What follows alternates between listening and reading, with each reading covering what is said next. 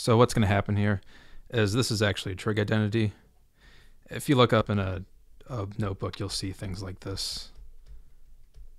So we can convert this so we get secant squared theta, and these can cancel out.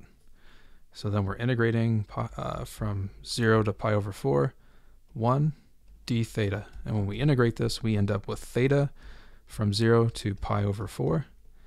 And when we plug these in, we get pi over 4 minus 0, which is equal to pi over 4.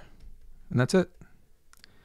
Okay, I hope this helped you out. I appreciate you watching the video, and you have yourself a great day.